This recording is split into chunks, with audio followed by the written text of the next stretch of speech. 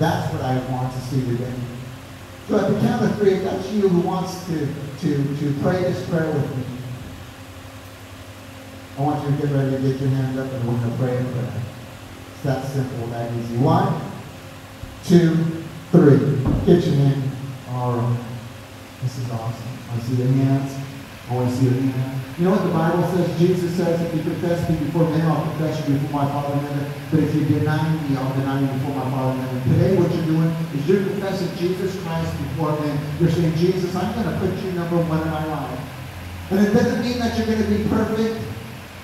But it means that you're saying, I'm taking a step of faith and I'm walking and I'm going to trust God to, to,